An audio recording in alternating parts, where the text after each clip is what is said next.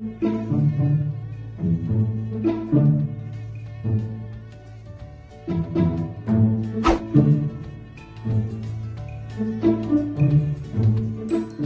Você sabe o que é nebulização? Esse é mais um dos muitos serviços que os agentes de combate às endemias realizam. Nesse vídeo, vamos falar sobre as duas técnicas mais utilizadas na cidade, que buscam eliminar o mosquito que transmite dengue e chikungunya. A nebulização costal é a aplicação de inseticida através de equipamento junto às costas do agente, que entra nos imóveis para a realização, e busca eliminar o mosquito que está voando. A nebulização veicular também é chamada de fumacê. Ela é realizada por carros e o inseticida liberado no ar elimina mosquitos na fase adulta.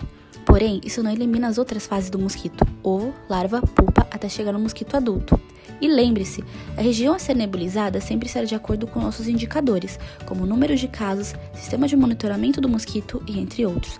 Por isso, é sua responsabilidade historiar sua casa semanalmente, já que mosquito pode nascer em até menos de uma semana. E não se esqueça, busque sempre eliminar recipientes que possam acumular água dentro de casa. Além disso, use sempre repelente, mesmo quando estiver doente, como forma de prevenção. O mosquito é sempre o mesmo, mas e você? Vai continuar sendo? Faça a sua parte.